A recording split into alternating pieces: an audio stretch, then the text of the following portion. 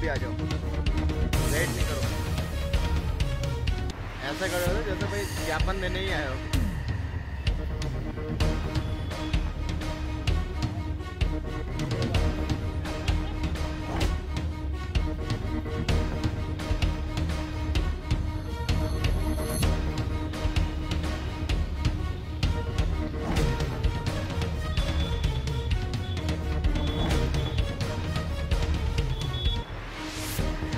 मेरा नाम कैलाश मीणा है।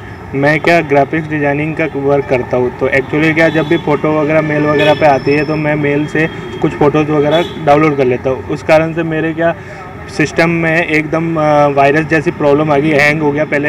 हैंग होने के साथ साथ एकदम सिस्टम ऑफ़ हो गया। ऑफ़ होने के साथ वो मतलब मेल आ गया एक। मेल में ऐसा लिखा हुआ है कि आप इतना पैसा, नौ सौ डॉलर यूएस वो पैसा जमा कराओ तो उससे हम आपका सिस्टम को खोल देंगे मतलब आपको मेल करना पड़ेगा जो भी है पैसे वगैरह।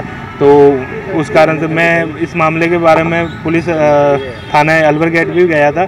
अलवर गेट जाने के बाद वहाँ पे सुरेंद्र सिंह जी है उनको मैंने बताया भी था कि सर ऐसी ऐसी प्रॉब्लम हुई है।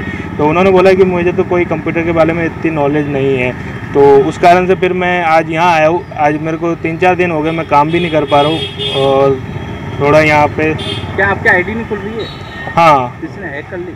मतलब कंप्यूटर हैक कर दिया पूरा। न फ़ोटोज़ खुल रही है न वीडियो कुछ भी वीडियोज़ वगैरह मतलब आप सिस्टम है चला जो नहीं हम शादी वगैरह का वर्क करते तो उसमें सारे लोगों के जो कितने डेटा डॉलर मांग रहा है वो? नौ सौ अस्सी डॉलर मांग रहा है।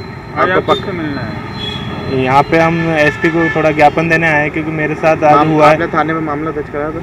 मामला दर्ज कराने गए थे लेकिन समझ में नहीं आया उनको। कौन से थाने में? अलवर गेट थाने में।